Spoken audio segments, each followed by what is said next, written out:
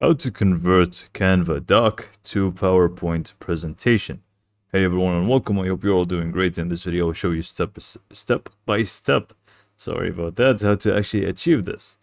So it is actually very simple and easy to do. It is actually built in within Canva.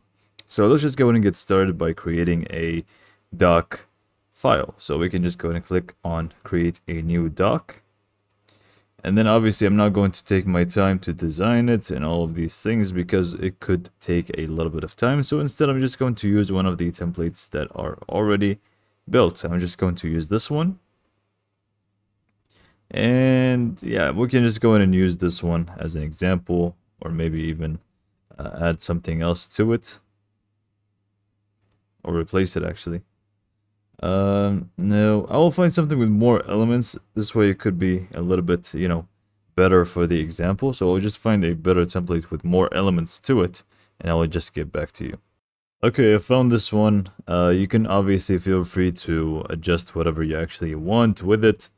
Uh, feel free to adjust it however you like. Um, and then after you're done with the doc and you want to uh, basically convert it to a PowerPoint, First, I highly suggest that you just go back to the homepage.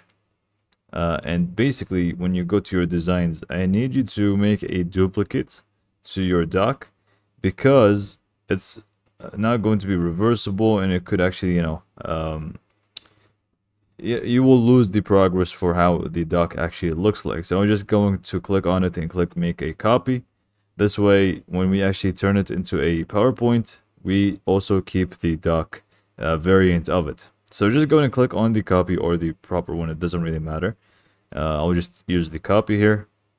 And then basically all you need to do is just go ahead once you actually, you know, start editing your um, doc, you will need to go to the magic switch on the top left uh, where it says premium, but not everything is, you know, premium. We can actually do it for free.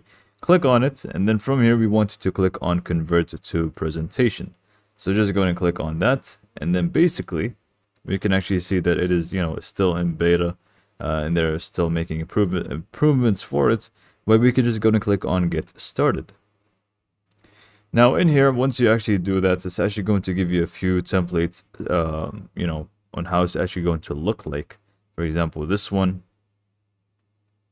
or this one, so feel free to select whichever one that you think is going to suit your style best. I'm just going to go for this one for the sake of this example, and then I'm just going to click on create my presentation on the top right.